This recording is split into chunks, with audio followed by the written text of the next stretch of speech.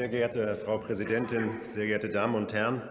Wir alle waren sehr gespannt, als es um die Verteilung der Ressorts geht, an wen das so wichtige Ministerium für Bildung und Forschung wohl gehen würde.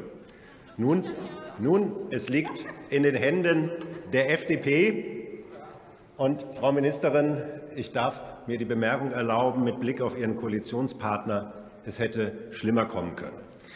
Meine Damen und Herren, das bedeutet aber auch, dass Sie, Frau Ministerin, das wirklich auch umsetzen, was Sie vorhin angekündigt haben. Sie sprachen nämlich ja von Technologieoffenheit, von einem deutlichen Bekenntnis zur Forschung.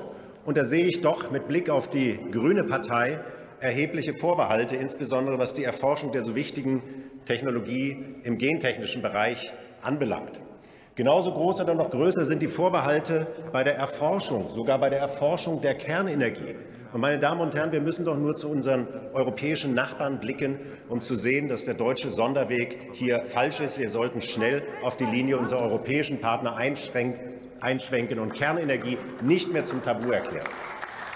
Meine Damen und Herren, Sie haben es vielleicht gelesen, vor wenigen Tagen stand in den Zeitungen, dass Deutschland mal wieder Weltmeister ist. Leider in einer zweifelhaften Disziplin. Wir sind nämlich Weltmeister im Erlassen von Verboten und Maßnahmen, um die Bürger zu einem pandemiekonformen Verhalten zu bewegen.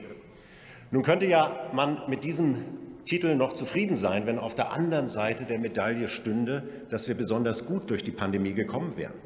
Aber da sehen wir, dass Länder, die beispielsweise die Schulen viel kürzer nur geschlossen haben als wir, Frankreich etwa kam mit 50 Tagen aus, Schweden nur mit etwa 30 Tagen, bei uns sind es summa summarum über 180 Tage gewesen, diese Länder sind eben nicht wesentlich schlechter durch die Pandemie gekommen. Und meine Damen und Herren, Sie alle waren gewarnt, nicht nur von uns, von der AfD-Fraktion. Ich selbst habe darauf hingewiesen, von diesem Podium aus. Wir hatten frühzeitig auch Studien, beispielsweise der Uniklinik Hamburg, COPSI-Studie. Sie haben sie ignoriert. Sie haben weiter Schulen, Schüler drangsaliert. Und jetzt haben wir die erschreckenden Ergebnisse.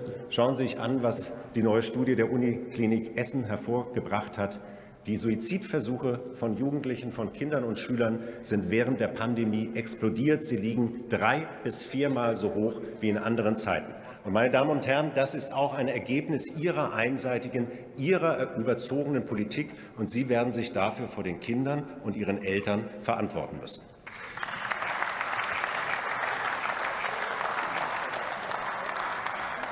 Frau Ministerin, einer Ihrer neuen parlamentarischen Staatssekretäre gefiel sich immer darin, unsere, Ihre Vorgängerin etwas despektierlich ähm, aufzufordern, am Schluss seiner Reden mit der Formel ran an den Speck, Frau Karliczek. Nun, jetzt sitzt die SPD selber in dem Haus, wo der Speck verteilt wird. Frau Ministerin, wir werden Sie dabei begleiten, kritisch begleiten, wünschen aber Ihnen und auch natürlich Ihren parlamentarischen Staatssekretären viel Erfolg bei dieser wichtigen Aufgabe. Ich danke Ihnen.